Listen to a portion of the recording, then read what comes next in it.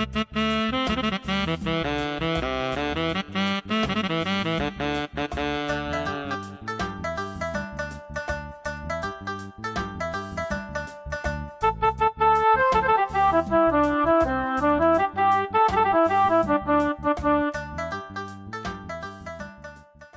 Bismi illaahi raxmaan iraxiim waa saddex iyo labaatanka bisha labiyo tobnaad labada kun iyo sagaal iyo toban galab isniina. Madaxweynaha dowladda puntland mudane siciid cabdulaahi deni waxa uu galabta qasriga madaxtooyada ee garowe uu ku qaabilay wafdi ka socda qaramada midoobay oo uu hogaaminayo ku-xigeenka ergey gaarka ee qaramada midoobay aadam abdulmulla oo sidoo kalena arrimaha bini-aantinimada xafiiskaasi u qaabilsan. Kulanka waxaa ka qayb galay xubno ka tirsan xafiiska qaramada midoobay ee puntland. Xubno ka tirsan golaha wasiirada ee dowladda puntland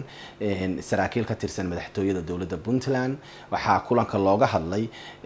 shaqooyinka qaramada midoobay ay ka hayso puntland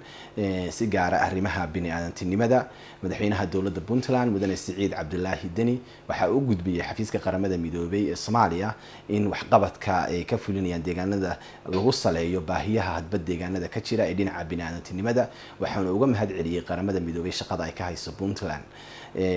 ku-xigeenka ergeyga gaarka ee qaramada midoobey ee soomaaliya aadam abdulmulla waxa uu ka mahad celiyey soo dhaweynta waxaana uu sheegay puntland inay ugu dambeysay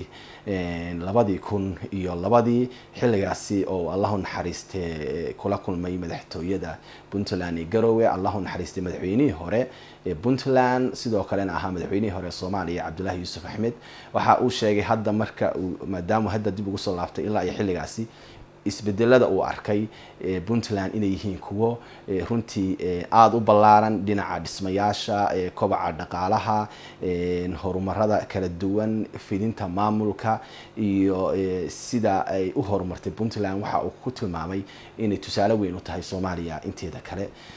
Arrimaha kale ee kulanka looga hadlay waxaa ka mid ahaa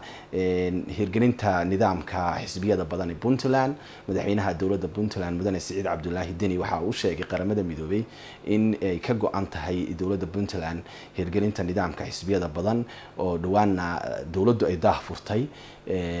jadwalkii shaqo ee guddida doorashooyinka ku-meel gaarka ee puntland haddana ay si toosa howlahaasi u socdaan si looga gudbo nidaamka hadda waxa lagu soo doortay ee puntland ka jira waana qeyb ka mid ah buu madaxweynuhu sheegay arrintaasi riyooyinka puntland ka jira in loo guuro nidaamka xisbiyada badan sidaasna ay dowladda dhab uga tahay in loo hirgeliyo halbeegaasi muddo badan lagu taamayay guud ahaanba shirku guul ayuu ku soo dhammaaday aada iyo aad ba umahadsantiin